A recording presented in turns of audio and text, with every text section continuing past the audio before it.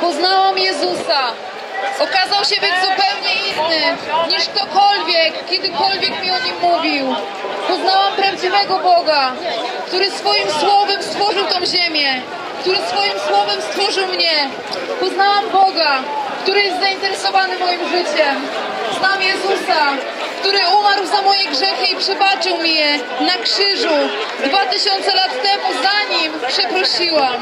Znam Jezusa, który nie czekał na moje przepraszam. Znam tego, który w miłosnym akcie poszedł na krzyż. Wiem, że płaczesz po nocach za miłością. Wiem, że straciłeś przyjaciół.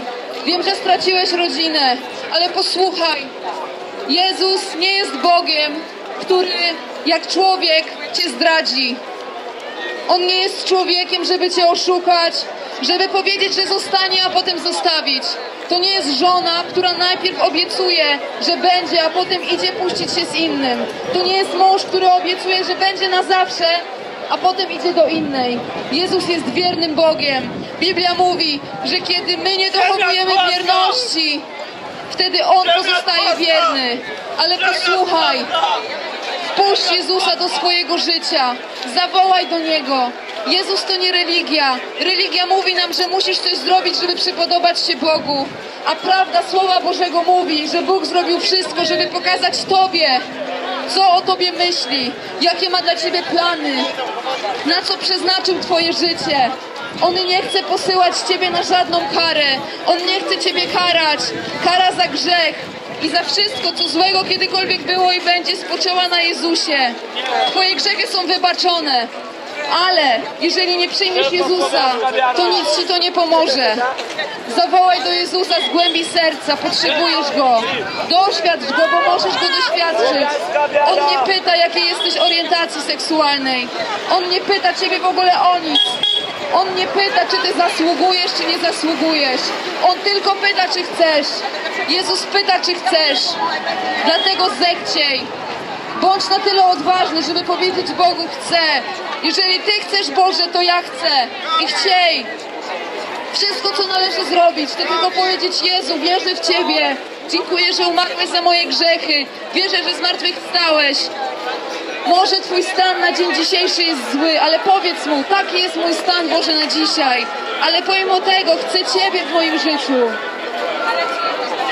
Pamiętaj, nigdy nie będziesz zbyt dobry, żeby nie potrzebować Boga, ani taki zły, żeby On nie mógł do Ciebie przyjść. Bóg już do Ciebie przyszedł, osobiście do Ciebie. Dwa tysiące lat temu na krzyżu myślał osobiście o Tobie. Miał Twoje oczy przed oczyma, miał Twoje serce przed oczyma. Kiedy umierał, wiedział jak masz na imię.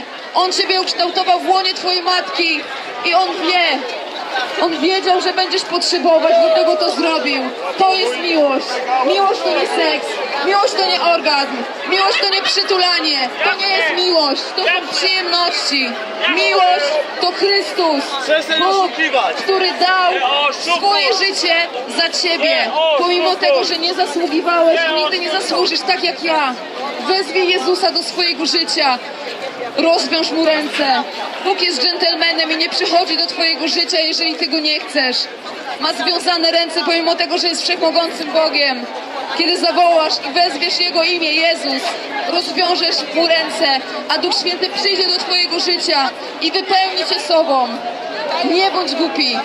Spróbuj, nie masz nic do stracenia, a masz życie do wygrania. Życie to Jezus, prawda to Jezus, droga to Jezus. Jezus jest wszystkim.